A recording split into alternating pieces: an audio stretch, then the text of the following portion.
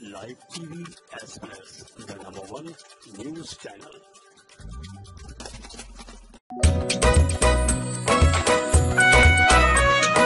हर पल मस्ती और रंगीन विद सतमोला नमकीन। इससे बेटर है नथिंग सतमोला नमकीन। डिफरेंट टेस्ट है बेमिसाल पनीर भुजिया भी कमाल।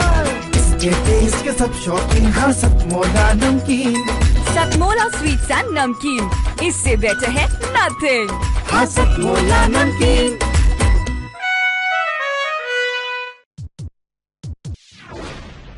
सतमोला चाय माला माल ऑफ़र। सतमोला चाय खरीदें और डायमंड रिंग मुफ़्त पाएँ। क्या देख रहे हैं? जल्दी ले आइए सतमोला चाय और डायमंड रिंग आपका हो जाए। सतमोला चाय। इस थाना ओछा परिसर में शिवानी मिश्रा ने किया महिला हेल्प डेस्क रूम का उद्घाटन। औछा कस्बा के थाना परिसर में मिशन शक्ति के तहत महिला हेल्प डेस्क रूम का शुभारंभ कस्बा औछा निवासी महिला शिक्षिका शिवानी मिश्रा द्वारा फीता काट कर किया गया। इस मौके पर आयोजित कार्यक्रम में शिवानी मिश्रा ने कहा कि महिलाओं के साथ होने वाले अपराधों के बारे में थाने में शिकायत करते समय पीड़ित महिला पुरुष पुलिसकर्मी को अपनी समस्या बताने में झिझकती थी। अब महिला डेस्क पर वो अपनी समस्या आसानी से रख सकती हैं। साथ ही उन्होंने शासन द्वारा महिलाओं के साथ होने वाले अपराधों पर लगाम लगाने के लिए किए गए उपायों के बारे में बताया। इस मौके पर थाना प्रभारी ऋषि कुमार उप निरीक्षक साहब सिंह मोहन शर्मा राधाचरण विजेंद्र सिंह नितिन कुमार सराफत अली राजेंद्र सिंह आदि लोग मौजूद रहे। मैनपुरी से मंडल ब्यूरो शराफत अली की रिपोर्ट। महिलाओं को सुरक्षा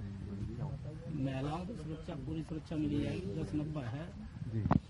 और यहाँ कोई भी महिला संबंधी शिकायत है तुरंत उसका निरा, निराकरण किया जाएगा।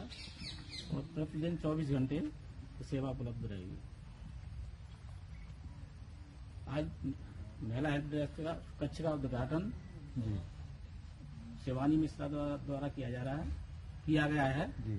जो आपके साथ हैं ये जो अपना बता दें क्या नाम है मेरा नाम शिवानी मिश्रा है। मैं असिस्टेंट टीचर हूँ केपीएस ओछा पर।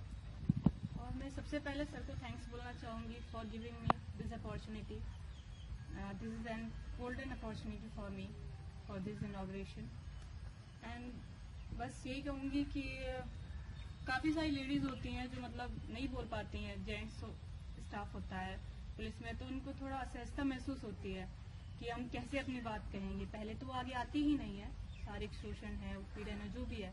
पहले वो आगे आती ही नहीं है। और अगर आगे आ भी जाएँ तो जेंट्स स्टाफ के आगे उनको थोड़ा सा अनकंफर्टेबल फील होता है। तो मुझे लगता है कि ये जो महिला हेल्प डेस्क है वो काफ़ी इस प्रॉब्लम में काफ़ी हद तक सॉल्यूशन रहेगा इसका।